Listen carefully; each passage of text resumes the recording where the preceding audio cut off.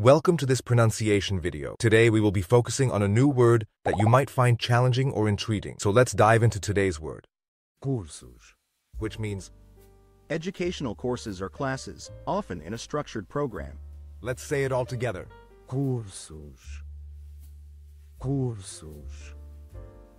Cursos. One more time. Cursos. Cursos. Cursos. Thank you for joining us on this adventure in pronunciation. Remember, language is a journey, not a destination. Keep exploring, experimenting, and expanding your linguistic horizons. We'll see you next time.